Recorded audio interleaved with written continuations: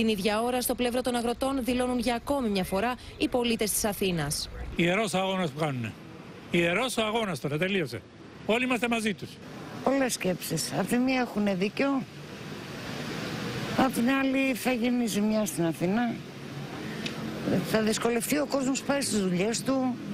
Από την πλευρά τους, οι αγρότες δηλώνουν αποφασισμένοι να συνεχίσουν με κάθε τρόπο τον αγώνα τους προκειμένου να δοθεί λύση στο υψηλό κόστος παραγωγής. Η αυριανή συγκέντρωση στο Σύνταγμα υπό το σύνθημα Αθήνα Ερχόμαστε είναι απολύτως ενδεικτική των προποθέσεων των αγροτών. Τέλος, αύριο στις 5.30 αναμένεται να γίνει συγκέντρωση στην πλατεία Ομονίας, ενώ το κεντρικό συλλαλητήριο θα πραγματοποιηθεί στις 6.30 στην πλατεία Συντάγματος. Μένουμε στο θέμα. Μαζί μου στο στούντιο ο προϊστάμενος του πολιτικού ρεπορτάζ του Κόντρα, ε, Κώστας Πουλιακίδας. Κώστα, καλησπέρα. Καλησπέρα, καλησπέρα. Καλή εβδομάδα. Καλή εβδομάδα. Η εβδομάδα ξεκίνησε, ξεκίνησε αγωνιστικά, ε, ανάλογα. Ε, πώς, πώς, πώς βλέπεις τα θέματα, αγωνιστικά παντού, ναι, το είδαμε και στο, στην αρχή του δελτίου με τα εσωτερικά του ΣΥΡΙΖΑ. Πάμε σε αυτό εδώ όμως, γιατί είναι σε εξέλιξη. Αύριο περιμένουμε την αύξηση των αγροτών εδώ.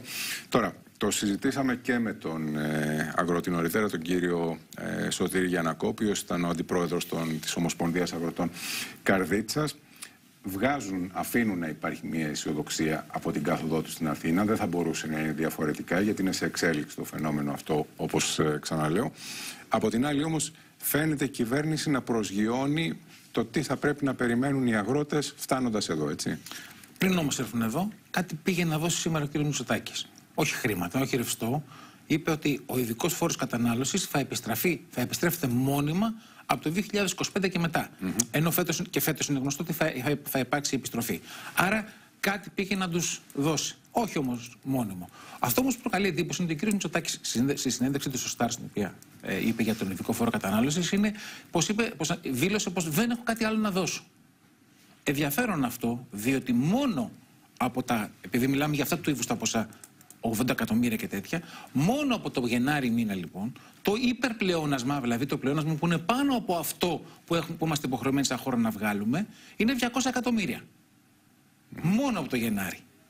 Αλλά δεν έχει να το δώσει αυτό ο κ. Μητσοτάκης για τους αγρότες. Για ποιους έχει να το δώσει αυτό; Υπάρχει κάποιος άλλος σχεδιασμός; Έλαντε.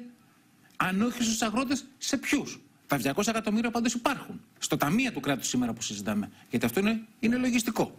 Ένα αυτό. Και δεύτερο.